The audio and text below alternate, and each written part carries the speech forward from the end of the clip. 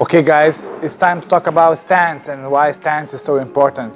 I'm gonna show you tips how to do good stance, okay? With 6 easy steps, I will help you to build solid snooker stance basics. Remember, solid stance helps you to be more comfortable in balance, makes your cue action straighter, and improves consistency in your snooker game. I will show you stance on and off the table, so you got the better idea how to use these tips properly. Let's go! So first of all, your stance shouldn't be too wide, like this, or like this, because you're gonna be off the balance. So make sure, depends on your body type, what kind of stance to use. I suggest you, I recommend you to do shoulder wide uh, stance. So that means if your shoulders is like this, so that means stance should be like this, okay?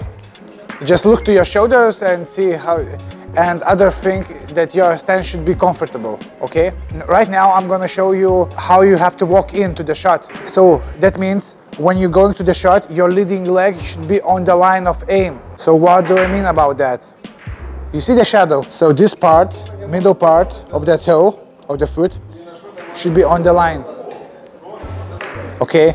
Some players gonna stand like this, some gonna stand like this, but the most important thing, just make sure that your cue, your foot is on the line. All right? Now I'm gonna talk about left leg. So your left leg should be bent and you should lean forward.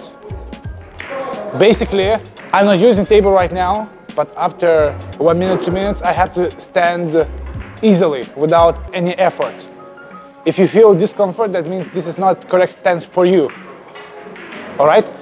If you want to improve your aiming, cue action, cue ball control, tactics and mental game, book online snooker coaching with a professional EBSA snooker coach, Vilius Schulte Ebert.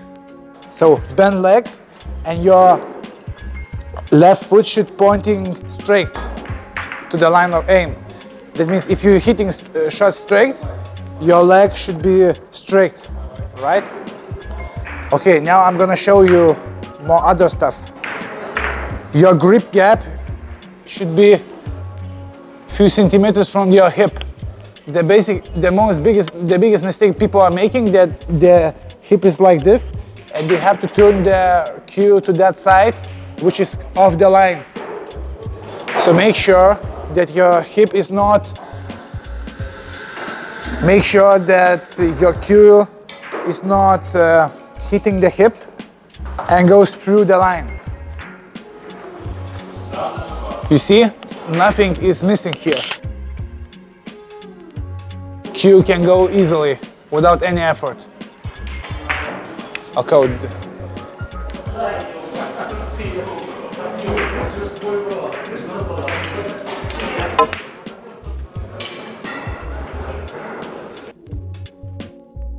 Quick lesson recap.